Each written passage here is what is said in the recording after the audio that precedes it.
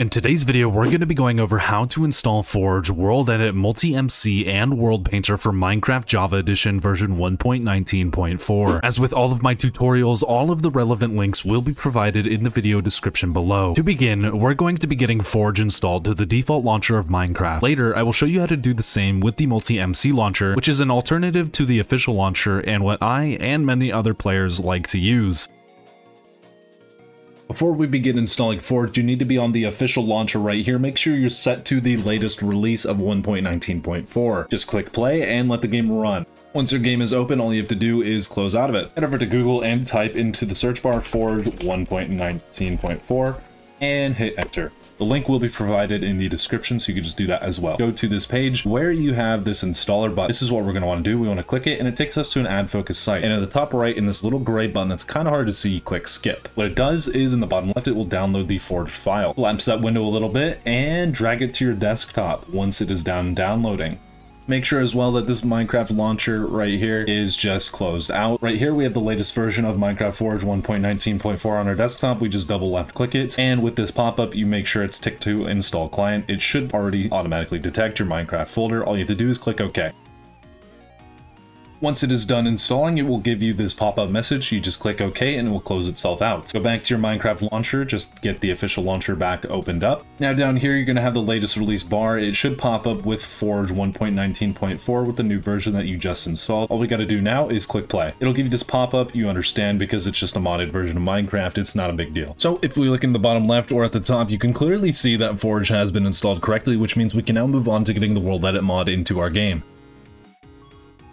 Head over to Google once again and type in World Edit Mod 1.19.4 or click the link down in the description below.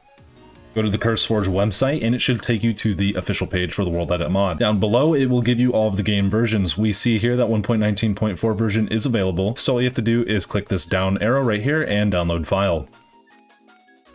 Again, it will put the file in the bottom left, so we're going to collapse this window and drag it to our desktop. Next, we need to put the World Edit mod into our mods folder, so we're going to find that by going to percent app data percent in the Windows search bar down below. Click enter. And right here, you click the .minecraft folder.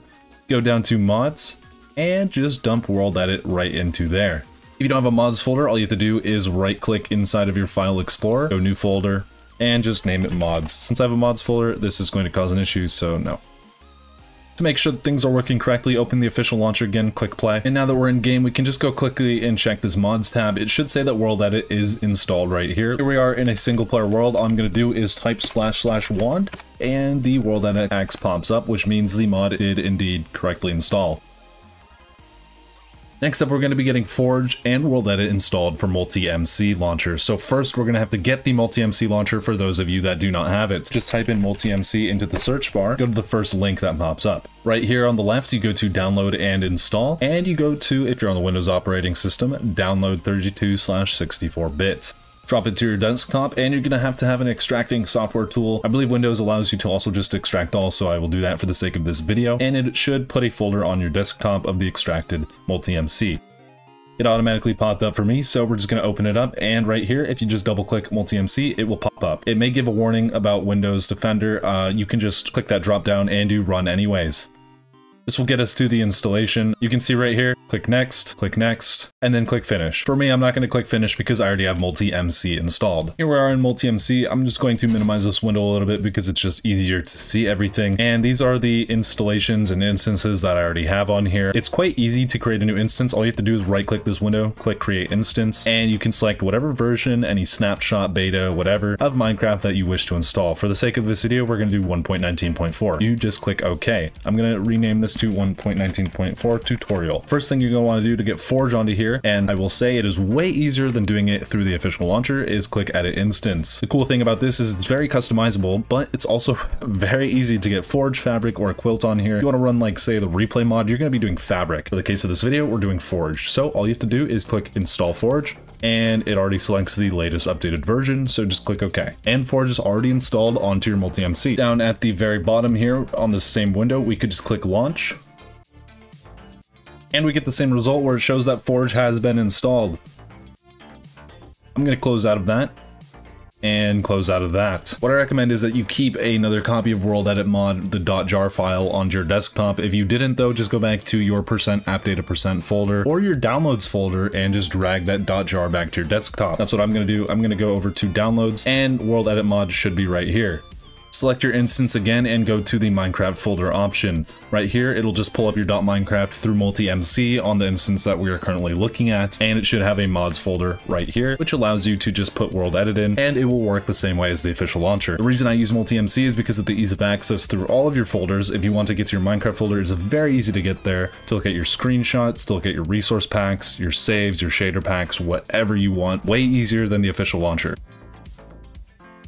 So now we will be installing World Painter for Minecraft, which is a very beautiful software for creating worlds and such. Type World Painter into Google, go to the official website, and you just want to go to this right here. I am a 64-bit system on Windows. It's likely you're the same. You're going to want to click this download installer.exe option right here. Again, it'll put in the bottom left. We're going to drop down this menu and just drag this icon to the bottom and left click. It's going to install through the process. This is obviously a very simple process you just do this. I already have an existing installation. Shouldn't affect anything, so I will go through it with you. It's just hitting next a bunch of times and it'll extract the files and get everything set up. Once you're done, you have run World Painter, uh, you know, ticked or whatever, and click finish. It'll run World Painter, and that's literally it. You have World Painter onto your computer. Uh, let's just let this run real quick, and boom, it pops up. By this point in the video, you should have everything correctly installed. If you guys have any questions or issues that come up, please leave them down in the comment section below, and I will get to answering them as soon as I can. In the next video, we will actually be utilizing these tools to create floating islands in Minecraft in a method that should take you only 5 minutes once perfected. I'll go over how to get custom brushes installed into World Painter and also some of the basics of exporting and also using World Edit to then create those floating islands. You should be able to see that video popping up on screen right now, so go click that link and uh... This is the outro now.